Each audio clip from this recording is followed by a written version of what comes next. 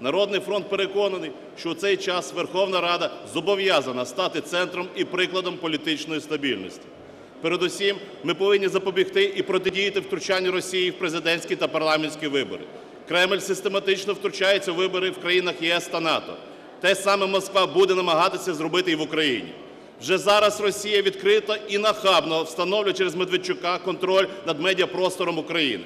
Саме тому "Народний фронт" наполягатиме на негайному ухваленні законопроектів 8494 і 6762 щодо прозорості фінансування електронних засобів масової інформації.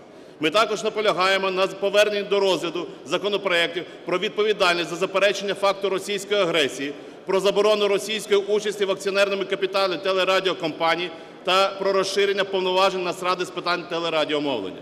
Українське військо стримує московську навалу на фронті, але ворог атакує кожного українця через телеекрани. Це треба припинити.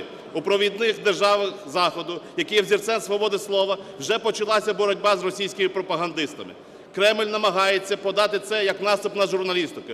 Ні, це не журналістика, це інформаційні війська Кремля на чужій території, замасковані під вільні ЗМІ.